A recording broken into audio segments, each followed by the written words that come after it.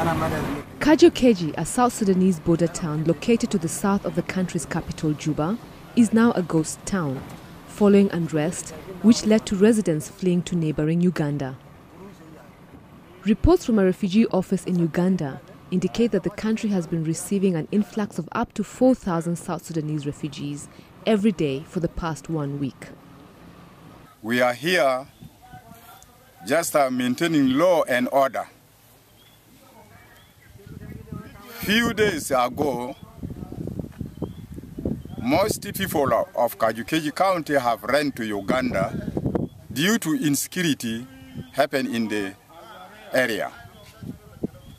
And now, some are still coming back to collect their food, and we are here because of them.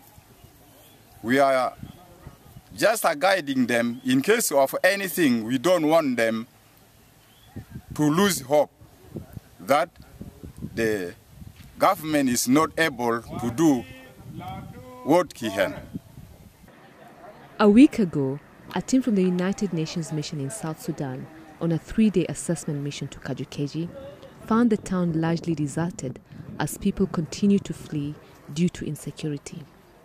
The team, comprising of experts in human rights, civil affairs, gender, relief, reintegration and protection, arrived in Kajokeji on February 7th to conduct an on-the-ground assessment following clashes between the army and opposition groups. During their three days in Kajokeji, the UNMISS team said they saw armed men in the area, some in uniform and others were dressed in civilian clothing. As residents continue to flee, some have been returning to take away what they have left behind that is important. People are coming to take their food one by one. Some are fearing to come. And those who cannot uh, manage to go to refugees, they are still here. We are together with them. And uh, they are also requesting the government at least to provide security for them. A majority of those who have recently fled to Uganda are women and children, and they say their situation is difficult. They say they have witnessed fighting, shooting, looting, and even raping of women.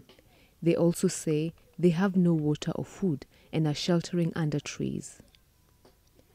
Those who have fled seem to be in the same predicament as those who remain. An appeal by the duty inspector of police is requesting for humanitarian assistance. They don't have a food, and uh, if you will come and give assist, uh, humanitarian assistance to them, I think they will uh, enjoy as others who are enjoy also in exile. But when there is no any help, indeed, the situation is going to become worse. For now, as Kajokeji, which means calves in a kraal, continues to empty out, the area, which has been traditionally known for its abundance in cattle, goats, and chicken, will lack in its abundance as people move away with their belongings to neighboring Uganda due to continued insecurity.